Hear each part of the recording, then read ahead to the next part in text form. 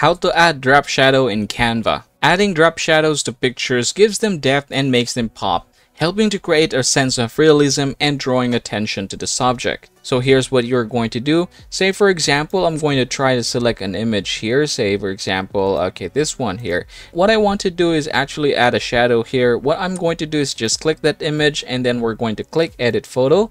Now, if you're going to scroll down here, you should be able to see something like this. You're using the new photo editor. To use the old experience, click here. So we're just going to click that one and then we're going to click revert to the old editor. Now, please take note that this may be a temporary experience. I'm not sure until when we can use this feature, but basically that's how you're going to do it. After clicking that one, let's click the image once again and we're going to click edit image. And then from here, you should see something like this. If you scroll down, you will see shadows. We're going to click see all and then from here, you have different options to choose from. Say for example, here the glow.